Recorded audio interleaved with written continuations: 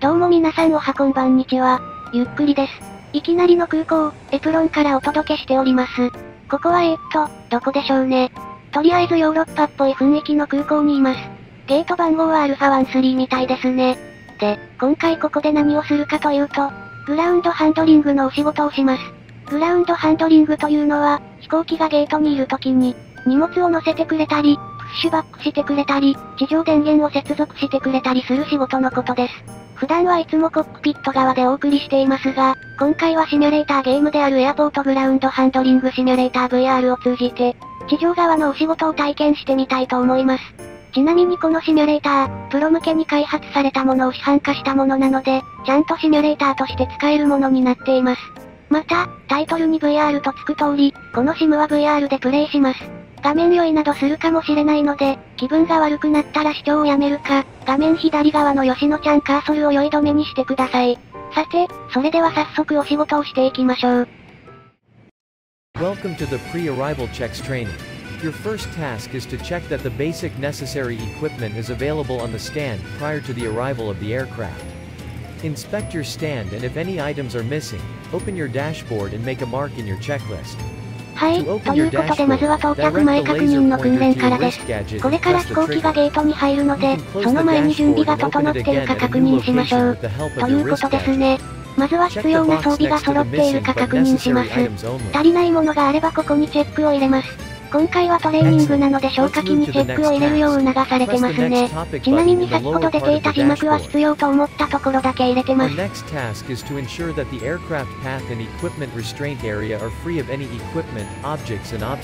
the Direct the laser pointer to improperly placed highlighted objects and press the trigger to mark it with the tab. 赤い線の中は制限エリアなので邪魔なものをマークしろということでした。スポットインの邪魔なのでどかすわけですね。Now conduct the FOD walkaround check on the entire stand and remove any debris. Point your laser to the foreign object and press the trigger to collect it. All existing FOD are marked with a red tag. はい、次はゲート内のゴミ拾いです。FOD というのはフォーレンオブジェクトデブリの役で、飛行機にダメージを与える可能性のある異物を指します。こういった FOD が飛行機の近くにあると、例えばエンジンで吸い込んでしまったり、巻き上げて機体に傷がついたりなど、とても危険なので排除するわけですね。ということでじゃんじゃん拾っていきましょう。これは何でしょうね？何かの部品か工具ですかね。画面右側に舗装ハゲがありますが後で確認すると思うので今はスルーします。これは何かの車輪ですかね。少なくとも飛行機のではありませんが、今度はペットボトルですね。完全なゴミです。誰だこんなところに捨てたのは。はい、ゴミ拾いはこれで良いみたいです。次のタスクを見てみましょう。Let's check the ramp for other hazards. Direct the laser pointer to the highlighted issues and press the trigger to mark it with the tag. 他に問題がないかチェックします。給油用の蓋が開いちゃってるので問題としてマークします。そしてこっちは何でしょうオイル溜まりでしょうかそしてこれがさっきスルーしたやつですね。これもマークします。このトラックはエンジンがかかったままで危ないのでマークします。Congratulations. You've successfully completed the training. Use the buttons at the lower part of the dashboard to restart the training or exit to the main menu and try the exam. はい、ということで到着前確認のトレーニングが完了しました。次はいよいよ試験という形で学んだことを実践してみましょう。Welcome to the pre-arrival checks procedure exam. Your task is to identify and mark all the issues on stand. はい、ということで到着前確認の試験です。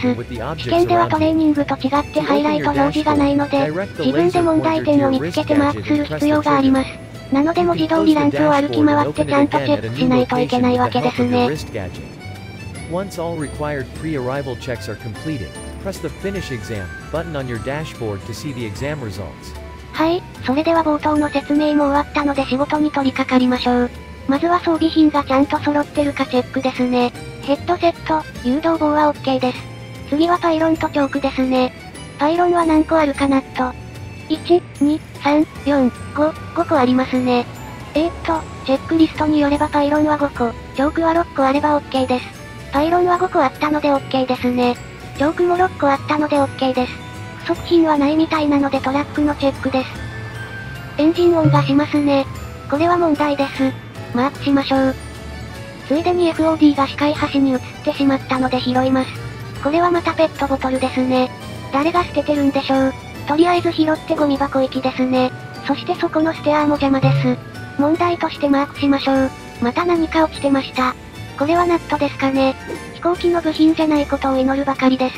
そしてこれは誰かの ID カードですね。落とす方が悪いのでこれもシュレッダーにかけてからゴミ箱行きです。また何か落ちてますね。今度はボルトでしょうか。なんでこんなに落とし物が出るんでしょうね。今度は、ペンみたいですね。一番よくありそうなやつです。これもゴミ箱行きですね。そして今度は車輪です。これ何の車輪なんでしょうね。スーツケース積み込む時に破損させたとかなんでしょうか。そしてまた車輪ですが今度は大きめな上に軸付きです。このレベルだと気づきそうなものなのですが。さて、大体見回りましたしこれで全部ですかね。終了ボタンを押してみましょう。ふむ、90%なので悪くはないですが満点ではありませんでした。どうやら FOD を一つ見落としていたようです。あんなところに岩なんてあったんですね。ただまあ合格点ではあるのでよしとしましょう。次行ってみましょう。Welcome to the aircraft marshalling training. Your role is a marshaller. Your task is to direct the aircraft with standard hand signals up to the gate. You're equipped with light wands to improve visibility. Direct the aircraft straight along the center line towards the parking stand and stop it right at the stop bar. Remember, you must immediately stop the aircraft in case of any hazardous events like an obstruction or fire or if you see a stop signal from the wingwalkers. Always verify the aircraft type and a correct spot at the gate every time before the aircraft arrival. はい、ということで皆さんお待ちかねだと思われるマーシャラーです。まずはトレーニングを受けてて信号の意味を確認しましょう。 前に立っている人の真似をします。この手信号はこの場所に入るように指示するものみたいです。真似して OK をもらうと緑色になります。この手信号はそのまま直進せよの意味ですね。真似して腕を振ります。ちょっと判定に苦戦してますね。はい、OK をもらいました。これは減速せよの指示です。真似して腕をパタパタさせます。これはすんなり行きましたね。これは右に曲がれの指示ですね。曲がれと言っても修正のために少し曲げるくらいです。これも判定が厳しいのかなかなか OK になりません。見本と何が違うのかさっぱりです。あれですかね、誘導棒の角度がちょっとだけ違うんですかね。よしよし。今度は左に曲がれの指示ですね。先ほどの逆というだけです。しかしこれもなかなか判定が。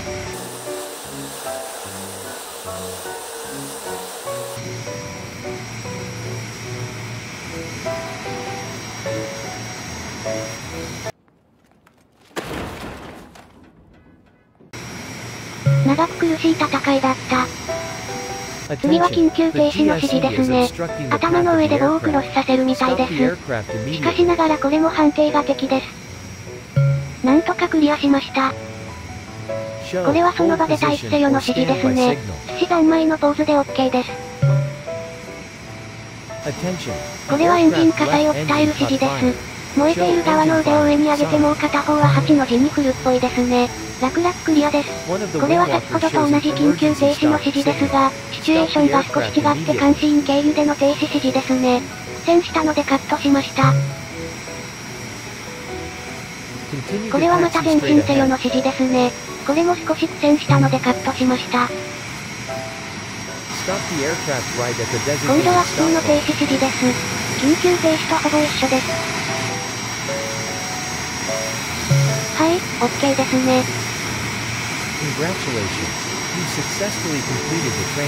トレーニングも終わったので実践に移ってみましょう。ということで実践編です。左から来てる737を誘導します。音声でも言ってますがハイライトされてる停止位置で止められれば OK です。それではまずは点に向かって棒を掲げましょう。これで入ってきてくれるはずです。来ましたね。どこで前進の信号に移ればよいかわかりませんが、正対するまではこのポーズを維持しておきます。大体正対したのでそのまま前進の指示を出してます。画面だと見えないですけどね。少し右にずれてるので左に曲がるよう指示を出します。おお、トレーニングではなかなか認識されませんでしたが実戦では一発で認識されました。この調子で誘導を続けましょう。良いですね、良い感じに見えます。少しまた右に出そうなので左を向くよう指示してます。そろそろスローダウンしてほしいのでスローダウン指示を出しました。この画面だと本当に何やってるか全くわからないですね。停止位置が近いので心の準備をします。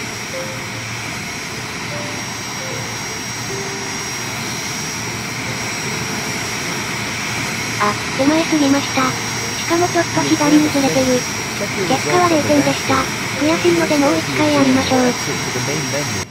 ということで2回目です。先ほどと同じく左から来ている737を誘導します。